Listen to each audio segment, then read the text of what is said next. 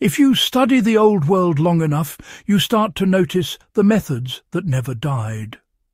One of the most reliable is an Ice Age fire technique that still performs today, even when modern gear fails. Before we break it down, make sure you're subscribed to Warpaths of Europe so you never miss the deep, practical history that actually teaches you something. Now, let's get straight into it. How Ice Age groups created dependable flame with the percussion method. The oldest proven spark-making technique wasn't a bow drill, and it wasn't friction at all. It was percussion fire. Ice Age hunter-gatherers carried two essentials, a hard, silica-rich stone, such as flint or chert, and a high-carbon iron mineral like pyrite or marcasite. When struck together with precision, they shaved off tiny hot metal particles. Those particles ignited the fine tinder they prepared long before striking the first spark. This method is still one of the most dependable ways to produce fire without cordage, dry wood or modern tools. The Ice Age groups who used it understood that spark production was only half the equation. The real skill was preparing tinder that caught the microsparks instantly. They used fungus, such as amadou from hoof fungus, dried plant fibres, powdered inner bark, and even scraped fat-soaked fibres when available. The combination created a tinder matrix so sensitive that a single glowing speck could grow into a usable ember. Why this method still gives reliability in harsh wet and cold regions. European Ice Age climates were brutal. Many regions stayed damp, cold and wind-beaten. The percussion method survived because it isn't dependent on perfectly dry materials the way friction fire is.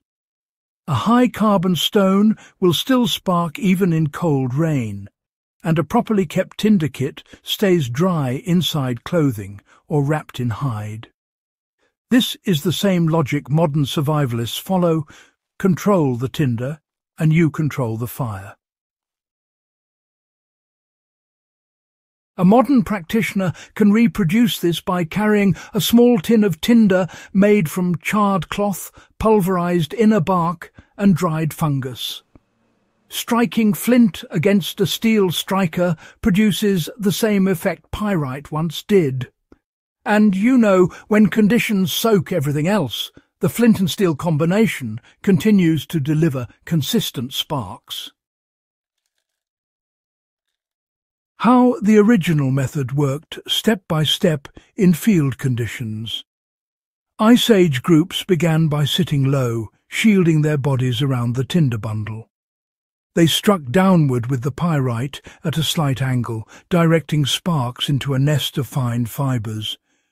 Once a speck glowed, they nursed it with controlled breath until the ember grew large enough to transfer to a thicker bundle. From there they fed slivers of wood and dry grasses until the flame stood on its own. This technique is not theoretical. It has been demonstrated in archaeological reconstructions using pyrite nodules found in Upper Paleolithic sites.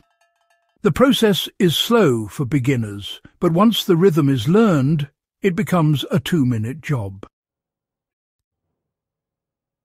Now, how can you use this Ice Age technique today in real survival situations?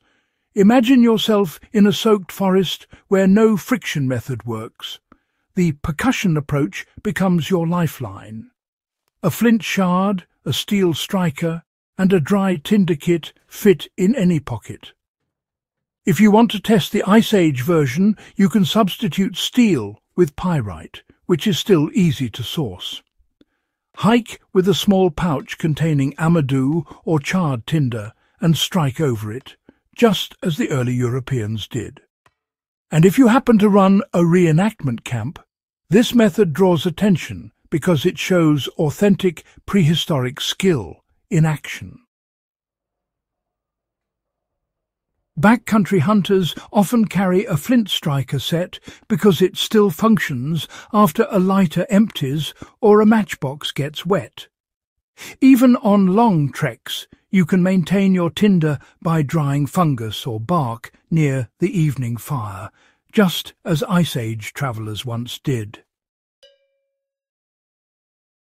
Let's explore how this ancient skill strengthens modern historical understanding. Any historian who practices this firsthand gains insight into the rhythm of early life. Fire wasn't a convenience, it was a decisive advantage. When you create flame the same way they did, you understand the discipline behind survival and how much planning went into every journey, every camp, and every cold night on the European plains. If you value deep, practical history like this, subscribe to Warpaths of Europe and share this guide so more serious researchers and survivalists can learn techniques that have endured since the Ice Age.